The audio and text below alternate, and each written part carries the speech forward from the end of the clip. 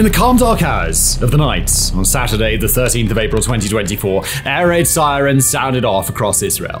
Around the world, alerts chimed and cell phones flared to life, alerting any person with even the most basic access to modern media that an attack was coming. Dozens of drones had lifted off from Iran and were on their way on a long, slow march across the Middle East, with Israel directly in the crosshairs.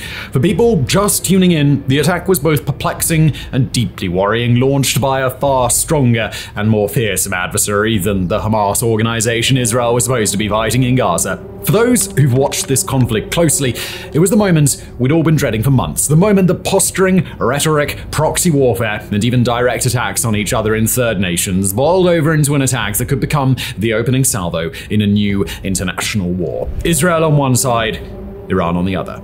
On today's special episode of Warographics, we're going to take a close and comprehensive look at Iran's strike on Israel, what happened, why it happened, what's been going on below the surface of Middle Eastern affairs, and what comes next.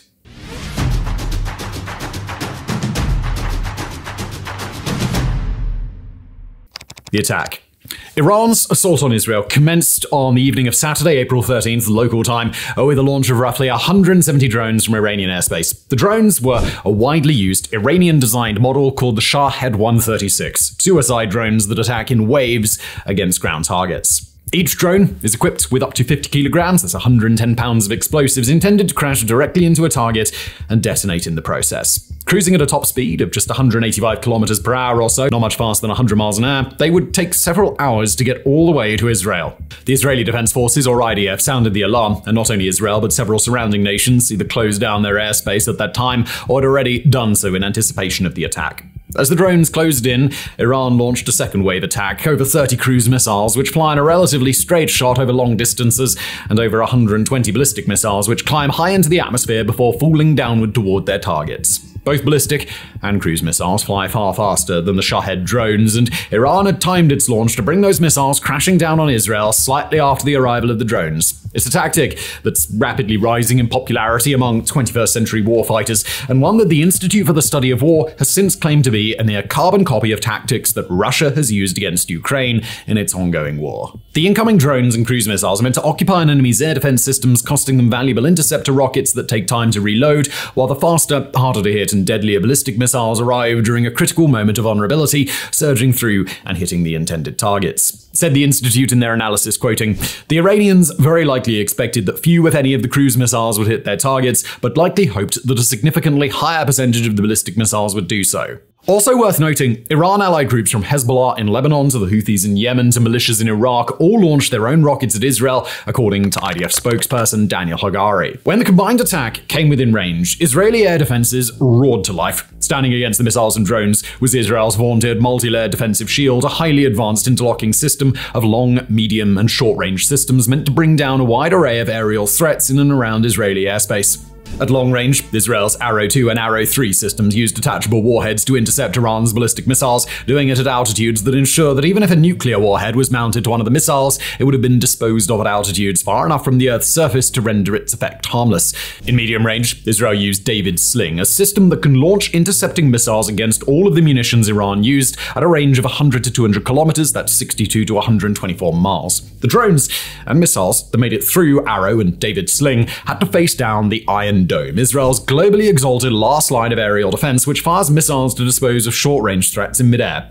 Also at Israel's disposal were American made Patriot air defense systems and the aircraft of the Israeli Air Force, including over 200 F 15 and F 16 fighters and dozens of advanced F 35s. A final element of Israel's defense, the so called Iron Beam laser defense system, has not yet gone operational and thus wasn't used in this case. Israel's allies took part in the defense too. The US, the UK, France, and Jordan each took down numerous incoming targets using warplanes and air defenses, while the French Navy provided radar coverage for the affected area. Against such a comprehensive air defense, Israel's assault was largely unsuccessful. Of the 200 or so Shahed drones and cruise missiles, not a single one is believed to have impacted their intended targets inside Israel, and of Iran's ballistic missiles, just a small handful were claimed as successful hits by Iran. According to Iran itself, the intended targets were Israel's Nevatim Air Base and an intelligence center in a mountain cluster called Mount Hermon, as well as the Ramon Air Base in Israel's south. We'll speak at length about why those targets were chosen, but for now, suffice it to say that Iran scored very few hits. According to Israel, five Iranian ballistic missiles struck the Nevatim airbase and four hit the Ramon airbase, but the extent of the damage was limited to a hit on a parked C 130 transport aircraft, a runway that hasn't been in use, a few empty storage hangars, and scattered locations around the airbases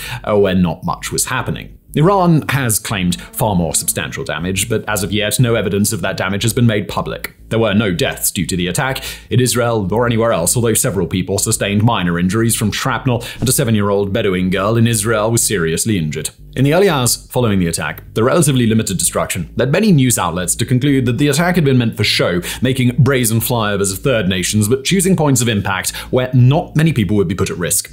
Critically, though, most international experts have now concluded that this particular attack was not meant to be a simple expression of token retribution. There was real potential for a less dangerous strike, one that Iranian leaders could show their people to say, see, we're doing something, while crafting the strike in a way that would let Israel repel it easily, thus signaling that Iran didn't want to take this matter any further. It's not an uncommon feature of global flashpoints to see that sort of attack in order to pacify hardliners at home and diffuse tensions abroad at the same time.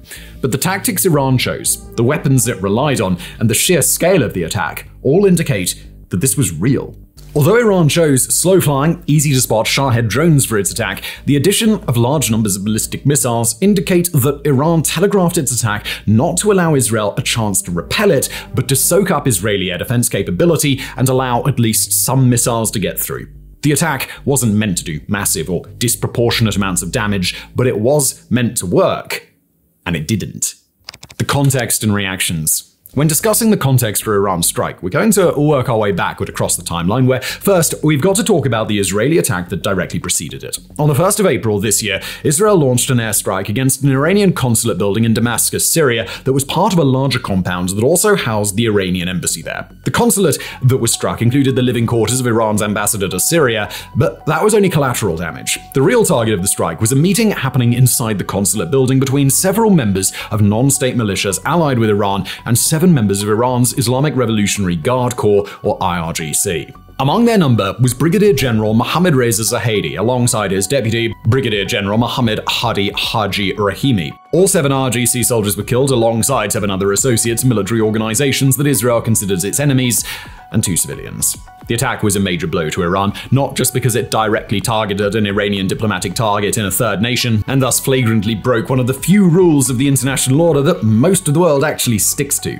Even more important were the deaths of Brigadier General Zahedi and Rahimi, two senior commanders of Iran's Quds Force. The Quds Force is Iran's premier special operations, military intelligence, and unconventional warfare branch, and they prop up a range of Iran allied organizations around the world, from Hamas in Gaza to the Houthi rebels in Yemen to Hezbollah in Lebanon. And more. Zahedi and Rahimi are the most senior Revolutionary Guard Corps members to be killed since America's 2020 assassination of Quds Force leader Qasem Soleimani, a strike that's had ripple effects that many international observers have cited as directly leading to Israel's current war against Hamas. Since Israel's strike, it's been no secret that an Iranian retaliation was going to hit sooner than later. Iran publicly vowed revenge after the strike, and Israel allied nations around the world, including the United States, took care to express to Iran and the global public that they hadn't any advance notice of the strike. Western nations applied intense pressure to Iran in order to deter an attack, while Israel threatened direct retribution on Iranian soil if they were made targets of a retaliatory strike. Iran directly cautioned the US against intervening in any way and passed a threat from Iran's Swiss embassy to America's that US military bases could be attacked in the Middle East if the US takes part in an Israeli defense. That's a sore spot for the US after three American reservists were killed and 34 were wounded in a strike on an American airbase near the Jordan Syria Iraq border in January. Regional nations that host American bases also lodged requests that America not use their territory to launch a counterattack in the event that a strike did come. Finally, Iran warns nations of the region three days before the attack, knowing full well that those warnings would eventually make it back to the Americans and the Israelis. So, when we look at the Iranian attack that ultimately did strike Israel, it's hard to miss the retaliatory nature of the attack, and that's intentional by Iran. Although, again, it does appear that Iran meant this attack to be a major success, it's also important to note that it was a direct response to the Israeli strike on that consular building in Damascus. Even the targets Iran chose were ones that had been directly involved. The airbase where Israel's warplanes took off in order to launch the strike, and the intelligence station that's believed to have tracked the Quds Force generals. The intent was to make Israel pay, but it wasn't meant to start a war. At least not yet. It's the geopolitical equivalent of elbowing back and forth with your sibling in the back of your parents' car. Neither of you really wants to break each other's nose or knock out any teeth right now, but you do mean every bit of those elbows, and you're not about to let them be the one to get the last shot in. But in order to really make sense of this attack, we've got to understand the longer recent history between Iran and Israel. Obviously, the history of religious, ethnic, and geopolitical tensions in the Middle East goes back a very, very long time, and we're not going to dive into that history here. But among the byproducts of that long and troubled history is a shadow war between Iran and Israel that's gone on for decades. On this channel and our sister channel, Into the Shadows, we've dedicated several episodes to the long running three way Cold War in the Middle East between Israel, Iran, and Saudi Arabia. But to give the short version, all three nations have battled economically, diplomatically, and via proxy warfare to build their control and influence over the Middle East as a whole. While Israel tends to fight that Cold War through mostly economic and diplomatic means, relying on its strong relationship with the global West and its immense military strength relative to the rest of the region, Iran has taken a different tone, building what it and its own proxy forces refer to as the axis of resistance. That axis is made up of numerous non state actors that we've mentioned today Hamas in Gaza, Hezbollah in Lebanon, the Houthi rebels in Yemen, and a network of other militias in Iraq and Syria. The Syrian government also relies heavily on Iran, and the Iraqi government is getting increasingly cozy with Iran as time goes on. Iran provides those groups with financial, military, and intelligence support, primarily relying on its Quds Force, the same organization that the prominent Iranian generals killed in Israel's 1st of April airstrike helped to lead. Introduce that context, and we start to see Iran's attack for what it really was the clearest indication that this long Cold War is at risk of going hot. Iran has pulled the strings behind attacks on and resistance against Israel for years, and especially since the start of the Israel Hamas war. Hamas solicits strong, direct support from Iran, while Hezbollah in southern Lebanon has traded near daily fire with Israel since the war kicked off, and the Houthi rebels in Yemen have embarked on a large scale campaign against global maritime shipping. Israel has fought back, retaliated, and launched a large scale counteroffensive against Hamas in the wake of its terror attack on October 7, 2023. But even Israel's direct strike on the Quds Force leaders this month at least took place in a third nation and could be interpreted as something other than a direct attack on Iran on its own soil. Now Iran has chosen to shatter the thin veneer of indirect conflict that still existed here. In the aftermath, an accounting of Iran's attempted strike has revealed not only its unprecedented scope, but its major effect in disrupting the international order of the last several decades. Given how many Shahed drones were used, Iran has now blown past the historical record of the biggest drone strike ever, even if it was largely unsuccessful in achieving its tactical aims. Not only that, but it's the first time since 1991, that's 34 years, that Israel has been attacked directly by the military of another global nation. So, with Iran's attack now concluded, it's on Israel to decide what it's going to do next. Here we find three basic options. Israel can draw down the conflict, it can respond proportionally, or it can escalate.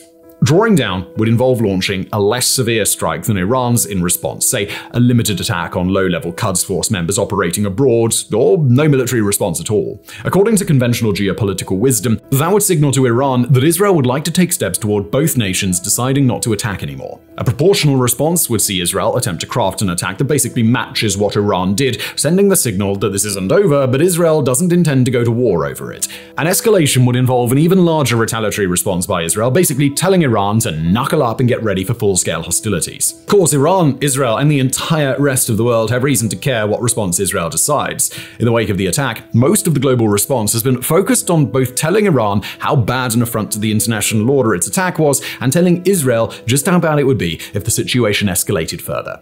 Iran's strike has been strongly condemned by Israel's allies, including the UN, the UK, Canada, Japan, and the nations of Europe. Nations who are generally more open to engaging with Iran have declined to offer any support, with China and Russia both urging restraint, and Turkey and Saudi Arabia exerting pressure on Iran to wrap up its retaliation here instead of carrying it on further. The United Nations, too, has come down hard against Iran, and even direct allies of Tehran have held off on calling for further escalation.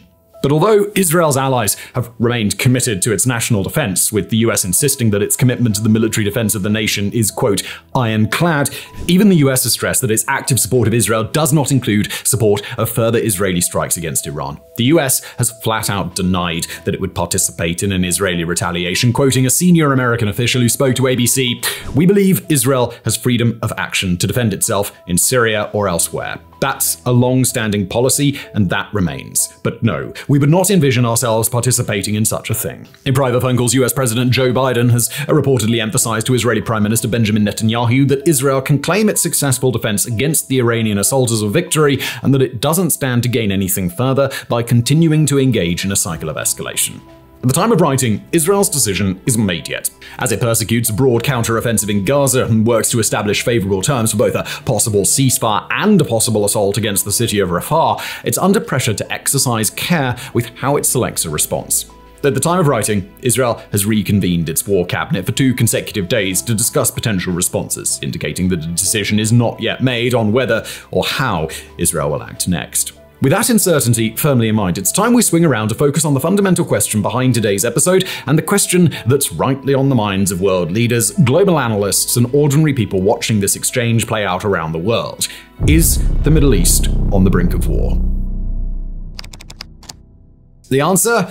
Well, yeah, it would certainly appear that way. As unsatisfying as it is, though, oh, we simply can't issue an ironclad prediction about the future of this conflict yet. After all, Israel doesn't even seem to know what it's going to do yet, and our psychopowers here at Warographics do not extend so far as to see inside Bibi Netanyahu's head. But at the very least, we have some broad indicators on which way Israel appears to be leaning. And we have the data to extrapolate just what could happen next if Israel decides to either draw hostilities down or ratchet them upward. One pretty good indicator came from Israeli War Cabinet Minister Benny Gantz, a man who's both a long-time political opponent of Prime Minister Netanyahu and a current ally in the political coalition governing Israel's military action in Gaza and abroad. The day after the attack by Iran, Gantz stated that Israel would indeed respond to Iran, quote, in a way and at the time that suits us. Although Gantz is a warhawk in his own right, he's generally perceived to be less inclined to these sorts of major military actions than Netanyahu is, thus implying that if he's on board, the PM probably is too. Israel and Iran have traded barbs at an emergency meeting of the UN Security Council, and they've seemed outwardly to be unmoved by any talk of complete drawdown. At the meeting, Israel's UN ambassador called Iran both, quote, the number one global sponsor of terror, and quoting again, a pirate state, while Iran's ambassador defended his country's actions as a proportional response that it had no choice but to undertake. Israel further claimed that it, quote, reserves the right to retaliate. On Iranian state TV, RGC generals have been careful to express that any retaliation to this strike, not just an escalatory response, will prompt a much larger attack from Iran. That is to say, Iran has indicated in advance how it intends to interpret an Israeli response, drawing a hard line in the sand that signals that Israel's next move will now decide just how big this thing gets. At the same time, Israel appears to be banking on the idea that at least some of its allies' resistance to a retaliation is just talk. The Israeli government at present appears to be working toward the assembly of a larger regional coalition that would allow it to strike, potentially on a scale that would suggest escalation rather than proportional response. And as for why Israel would be willing to take that chance, the international support given to Israel to defend against this attack has indicated to both Israel and global observers that Israel's partner nations are not willing to leave it isolated in the face of a major threat. For months now, many experts around the world have speculated that Prime Minister Netanyahu's motivations for pursuing such a massive and heavy handed retaliation against the Hamas organization are at least partly political in nature. Netanyahu is unpopular among the Israeli public, especially at this phase of the war, and he's likely to face political challenges once the war ends. In order to stay in power at all, he's got to both placate partners within Israel's hard right who want an even bigger military response, and work with Israel's larger opposition movement toward a ceasefire and the return of hostages still being kept prisoner by Hamas. The US and other close allies of Israel have put on their own increased pressure recently in the wake of mass casualty incidents killing Gazan civilian, an emerging famine, and the killing of several international aid workers in a recent Israeli drone strike against a humanitarian convoy.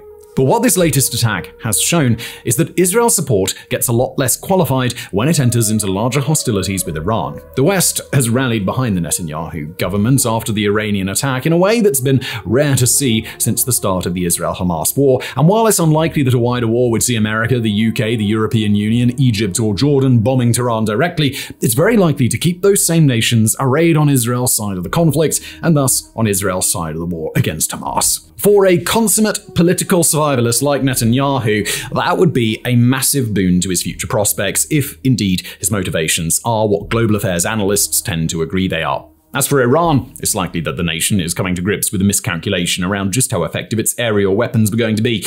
Unlike Russia's use of similar tactics against Ukraine, these hundreds of drones and missiles were not enough to overwhelm Israel's much more robust system of air defenses, and while the involvement of other nations certainly made Israel's job easier, there's no clear indicator that Iran would have even been successful if Israel was defending alone. Majority of Iran's aerial weapons were dealt with outside of Israeli airspace, and those that came closer did relatively little damage even with their shrapnel when measured relative to the size of the attack that Iran launched. It's unknown just how many drones Iran has in its arsenal, but it's just burned nearly 200 of them in this assault, along with almost 100 ballistic missiles. If it's going to launch a more successful attack, it's going to need to devote a hell of a lot more firepower.